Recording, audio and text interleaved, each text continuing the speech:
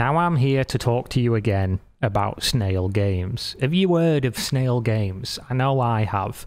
They're basically this big Chinese holding company that wants to, you know, take over the survival game genre. They fund and own a bunch of studios that make survival games. You might have heard of some of them. One's called Ark Survival Evolved, PixARK, you know, uh, Dark and Light, Outlaws of the Old West, all, of course, fantastic titles. A bit of sarcasm in there somewhere, see if you can get it.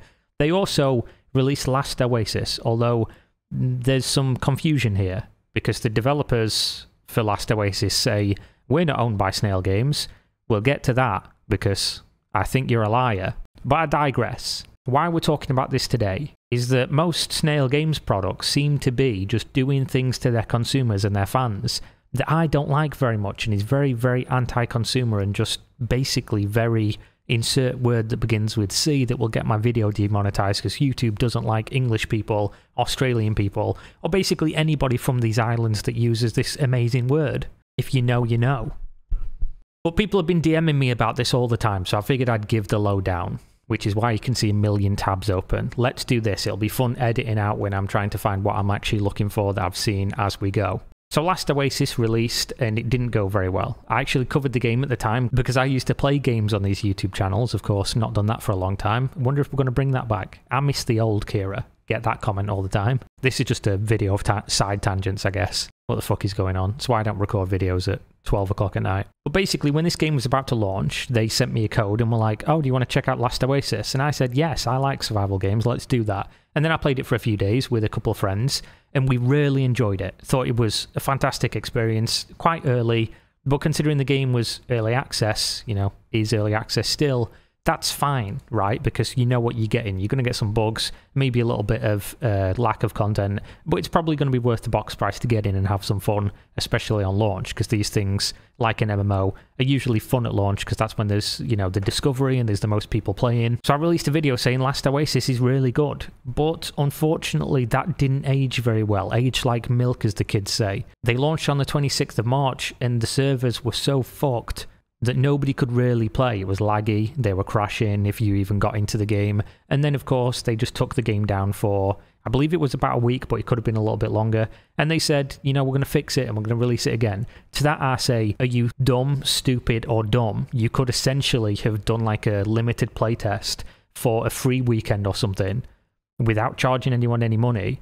People would have still got upset because even if you give somebody something for free, if it doesn't work, they're going to moan about it. But before you had actual consumers paying money for something, you could have figured out the servers didn't work. But instead, you gave it to a limited number of influencers. Fuck that word, but that's what they call us. And we put out positive coverage of a game that was pretty good. And then that made us look silly, which I'm not a big fan of, to be honest. Even though it was out of my control, I couldn't know the servers weren't going to work. And then by the time the game had released again, a lot of people had moved on and were just playing other things and had kind of forgotten. So essentially, if you look at the numbers of Last Oasis, you can see that when it released, they were in a unique position that not a lot of games get. They had 33,000 concurrent players, which would put it in the top couple percent, I believe, of games that release on Steam in terms of like initial hype. You were in a good spot to do real well. And by the time they'd got it working properly, and they still had some issues, mind you, it was basically, you know, down already by quite a large percentage.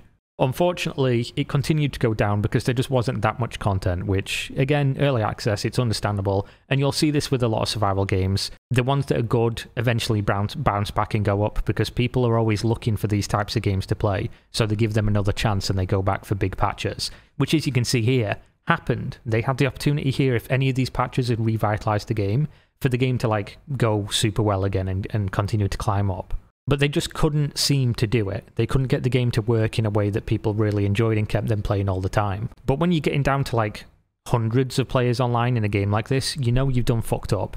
Now let's get to the bad things, the things that make me say you're a bad company and you should feel bad. As soon as things start going terribly for products people have paid money for, what they do is they start digging into your company and your history. And they found, of course, that Donkey Crew had made other games, one of which being called Of Kings and Men, which they tried to crowdfund on Kickstarter originally, failed, and then released the game again on Steam Early Access and it wasn't very good. And they tried to change the game a couple times, nobody played it, and then they just pulled it off Steam and fucked off and made Last Oasis. So you've already got a bit of a pattern forming here. But hey, I'm I'm fine with second chances if you you know made a game and it just didn't go to plan. It's not a crime. You didn't do the worst thing in the world. People fail, and people were still playing Last Oasis even after seeing this. They were hopeful for season five, which of course they were doing the game in seasons. And then season 5 released, and they did like this big push marketing. They had the game on the Steam survival weekend or whatever that put the game 50% off in value. And they got the biggest push of players they'd had for basically since release of the game. Unfortunately, it didn't matter. And also, people discovered in this time that they'd not really been spending a lot of resources developing this game anymore. They instead had been spending their resources making another game. So they'd done it again. Which, as you can see, this looks kind of cool. Not going to buy it, of course, because fuck these people, but it does look kind of cool. And here we have it Donkey Crew. Allegedly, this is a bit of a rip of their previous game, although this one's going to be single and co op, I believe, as opposed, yeah, single and co op instead of being like a big survival game, because they probably learned their lesson that they just couldn't handle what they tried to do previously. And if they were still developing Last Oasis, that would, you know, that'd be okay. But of course, as you can see from the charts at this point, when they weren't really working on the game anymore, they still had thousands of people that were buying the game, playing the game, and wanted to play the game that they were sold that was in early access, which is somewhat of a promise to say we will continue to develop if you give us money now. It's not the finished product now, but it will be one day, which of course is a promise that a lot of game developers just fucking ignore and just do whatever they want. And then when you start looking into it a little bit further, it gets worse than this because they've not posted an announcement on their Discord since November 23rd, 2022. They've not posted shit on their Twitter since October 21st, 2022, in tweets or replies, so they're not even replying to anybody. And they don't post in their Discord, they're not even really moderating it, as you can see. People are just changing their name to, you know, talk shit about the product. What is Bellwright? Are they still developing the game? No. Donkey Crew equals Deceitful Crooks, which is a great Discord name, really. And then something looks real interesting because when you go to the Bellwright uh, discussions on Steam, there's just one post. But then if you go to any social media that isn't controlled by the Donkey Crew team, you'll see that everybody who posts anything, even if it's positive, gets banned from the Bellwright section. I have a bunch of examples here. We've got somebody posted, ha ha ha ha, you were banned. Reason, off topic. How about this classic? You've been banned by a Bellwright developer. Off topic. Lots of off, off topic bans here. Personally, how I manage my community is when somebody says something that's off topic, I say, can you stop doing that, please? Here's another one. You've been banned. Off topic. And of course, they're banning some of these people for criticism. And while this is technically off topic, it does just look like you're trying to silence people from saying things that you don't like, which is true. You've abandoned multiple games at this point, especially considering the timing of you pushed like a big sale on your game with an update that at that time didn't even have a Steam profile. Now, there's also an, a really interesting thing here that makes me think that these developers are just not being completely honest. You see a Pogo san, he says, We're not owned by Snail Games though. They're just a regular investor like any hedge fund could have been or any other company. Now, I didn't know whether this was true or not, so I looked up the SEC report, which you have to file to do business, and in the Snail Games one, it says our games, Ark Survival Evolved, our flagship franchise, uh, and then it talks about Last Oasis, developed in connection with our wholly owned subsidiary, Donkey Crew. Now, I don't know if I'm taking crazy pills here, take me back to the 80s, where that saying comes from. But if you're a subsidiary, that means you have a parent company.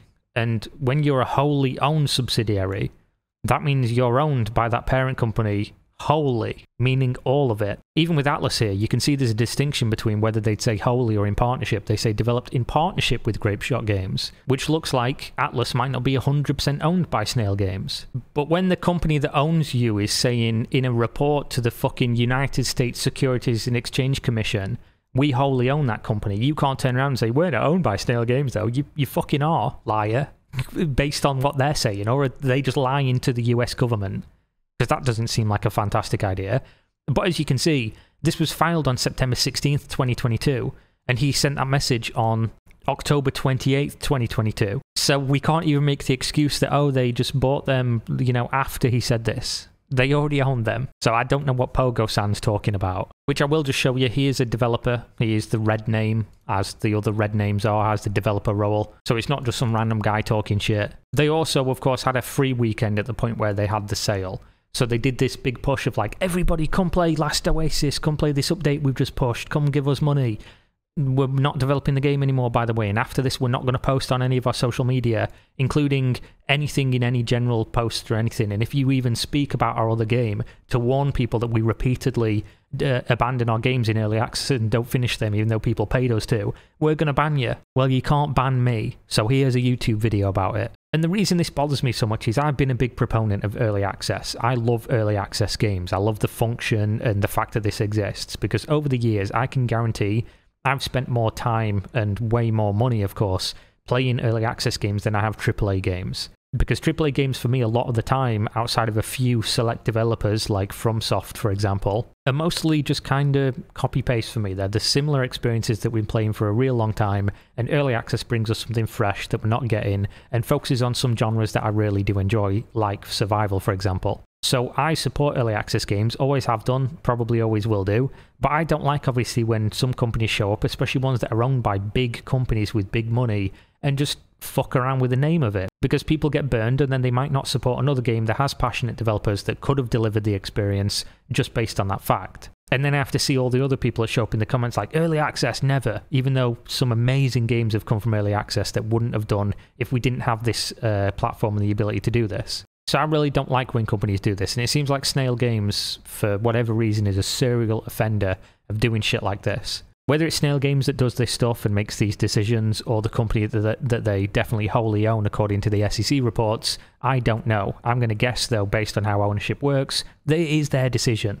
So that's it. I'm going to stop talking about Snail Games now. It's probably going to be a while before I make another video about this company, hopefully at least. But I would suggest you don't buy their next game because if it doesn't do supremely well, they will probably abandon it. So there we go. Thanks for watching as always. See you next time. Peace out. Oh wait, guys, I, have just I've just found this. I wanted to just double check before I publish this. Ignore everything I said in this video about uh, Donkey Crew being owned by. I can't say this with a fucking straight face. Ignore everything I said about Donkey Crew being owned by Snail Games. I lied.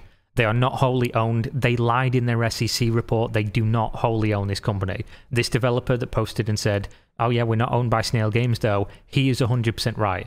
They, they, they, Snail Games only own 99% of Donkey Crew. So I put my hands up. I was incorrect. They've got me there. Somebody somewhere does own 1% of the stock. So they've fucking done me on the technicality there. Fuck it. Oh man. I love being a YouTuber because I'd never experienced anything like this if I if I wasn't and just was randomly looking through SEC documents. So yeah, I'm a liar. Whoever's out there with that one percent, you fucking done me on this one.